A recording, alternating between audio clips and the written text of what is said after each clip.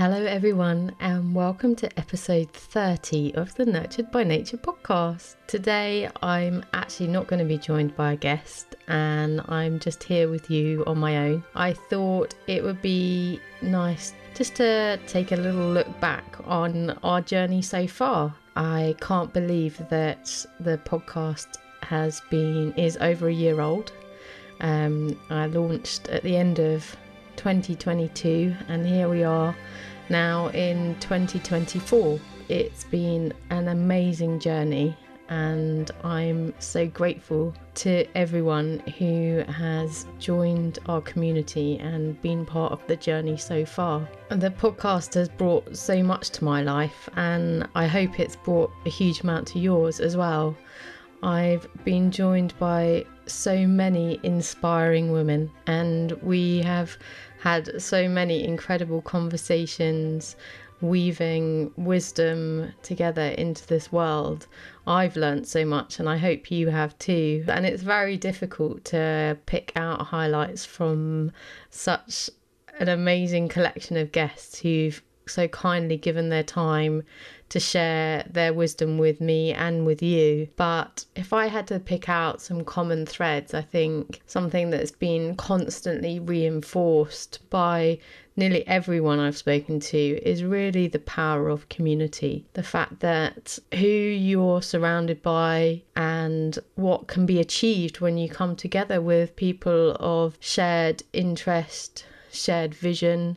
I think through it all, I've just been humbled yet again by nature and the fact that there are so many different ways to have a relationship with the natural world, whether that's fond memories from childhood. Some of my guests and myself were lucky enough to grow up in quite rural settings.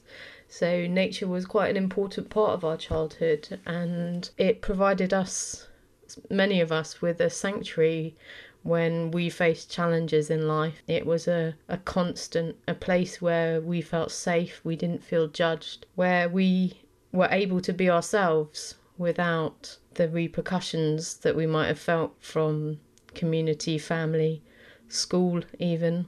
We didn't feel that we had to hide. Well, we maybe hid, we hid with nature, but we were always seen and witnessed by the natural world.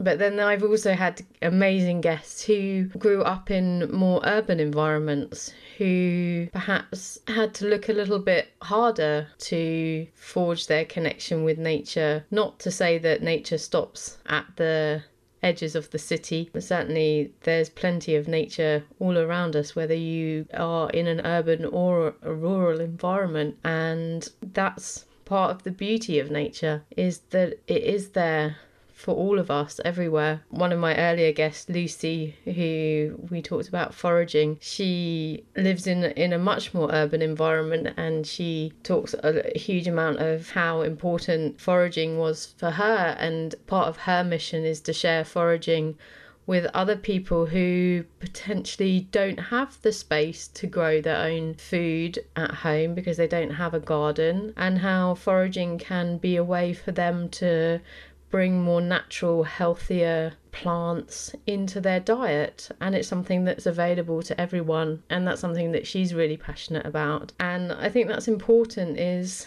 finding these gateways where nature can be and can feel accessible to everyone. And there's also been lots of references to science. This isn't all woo woo, but we've talked about scents and smells, we've talked about frequencies and energy, and a fantastic conversation with Lindsay about forest bathing, and also Helen at Make It Wild um, about the amazing science that supports how spending time in nature is beneficial to our health and mental well being. And I think more and more with everything that we face in our modern societies, that's become really important to all of us.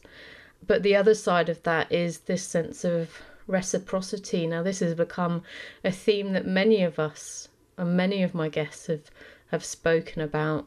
And it's this sort of beautiful circular energy exchange where we're always giving and receiving. And yes, a lot of the focus of this podcast is on the natural world and how really we're so out of balance with that relationship of reciprocity. The fact that as a society, it's really been taking, taking, taking, and not much giving has gone back to nature. And we've looked at so many different ways that actually it is possible for us to find these ways to recreate that sense of reciprocity. And there are numerous gateways for us to take to do that.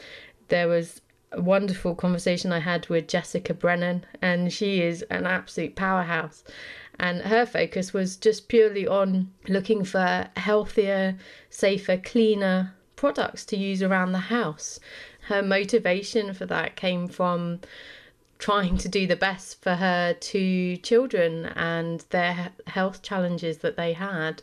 And from it, she's grown a business advising other people and also has even become an advocate and taken what she's learned to help create legislation even to clean up products for other people. One of the things that she was passionate about was saying that those of us who are in a privileged enough position to be able to be thinking about these things have the responsibility to make the right choices, to make educated choices, to educate ourselves and our friends and our family and choose better products. Because if we support those businesses, we support those products that are making better ethical choices, then those products can become cheaper, they can become more accessible to more people. And something that I really took away from her conversation was that, yeah, it might feel like nothing is happening and that we're powerless. And, you know, we've all sat there and watched the international governments come together at, you know, the COP conferences and, you know, there's there's been talk for for many years, decades even, and very little action. But my conversation with Jessica was a stark reminder that actually, you know, we aren't powerless as consumers, and we need to remember the power we have as consumers and therefore take responsibility for educating ourselves and making the best choices we can. And the other side of that is something that a lot of my guests have you know, we've talked of at length is to give ourselves some grace as well. Like, we're not perfect. You know, we can't be perfect. You know, our quest for perfectionism is normally a handbrake on actually doing anything. And just to do what we feel we can do, you know, if you can do just one small thing, take one step, it's a new year. This is a time in January where we're often thinking about intentions, goals, dreams, wishes, whatever you want to call them.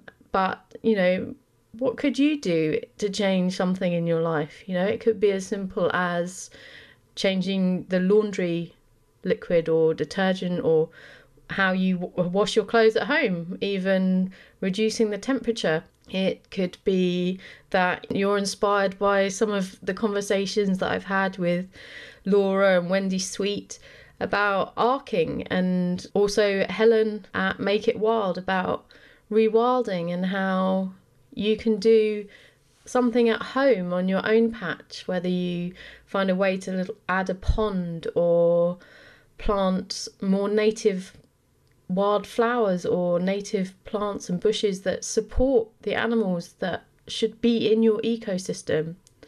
Um, Mary Reynolds is someone that we've we've mentioned a lot, and she has some incredible books. We are the Ark, or Acts of Restorative Kindness for the Earth, and I think really that's as simple as it can be. You know, just hold in your heart the love that you want to express to the world. You know, several of my guests at the later part of the year, Jackie Winters, where we talked a lot about energy and frequency in relation to crystals, but just in relation to our relationships with the world and nature around us.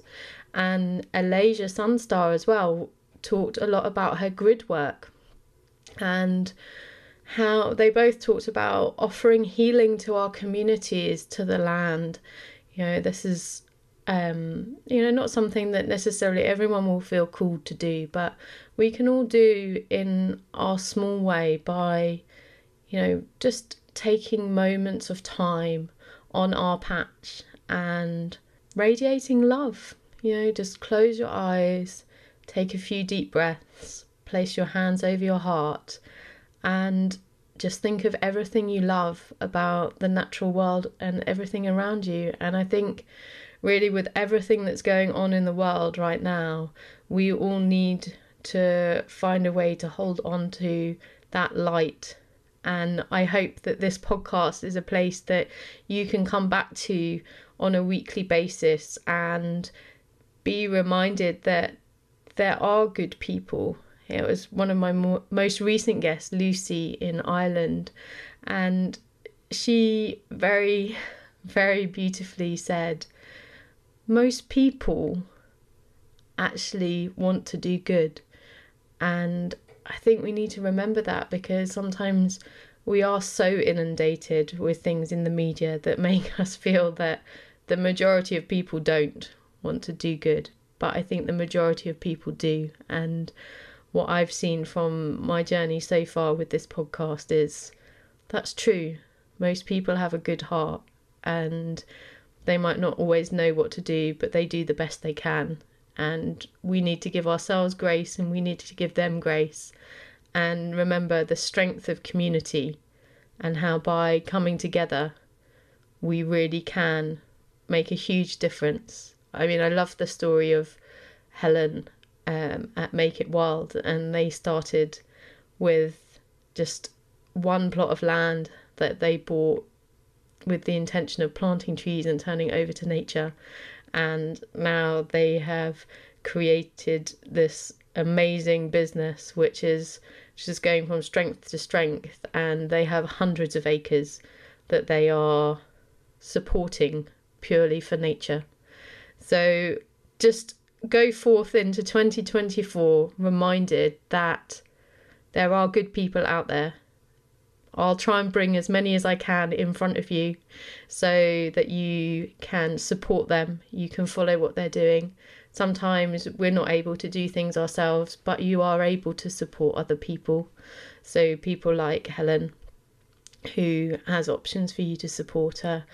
And, you know, sometimes actually one of the most empowering things you can do is to be an encourager to see these people, these businesses, some of these amazing small businesses that are out there that are doing their best and working really hard to make the right choices to keep nature at the forefront of their decisions and their decision making, like Lucy at Hedgewitch, who was my most recent episode. And if we support them, if we buy their products, we help them have a huge ripple effect. So yeah, that's that's really I think the messages that I've taken away from the last 12 months. I mean there's there's so many more amazing people that I haven't mentioned and I would love to mention. I mean, I've had amazing conversations about the power of horses with Holly Mitchell,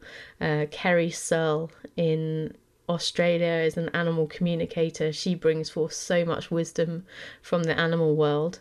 Bobby Joe, and we had an amazing discussion about safaris and how photographic safaris can be hugely helpful for conservation and how many conservation organisations struggled quite considerably during COVID as a result of the restrictions on international travel. We've talked to Caroline and Polly, who both talked more from a business standpoint. Caroline talked about food systems and the importance of the changes that are happening there, but also the struggles that they're facing with um, the cost of living crisis, which again feeds back into this notion of supporting the businesses that are making the right decisions um, and being intelligent about where you're spending your money, realizing that that does make a difference.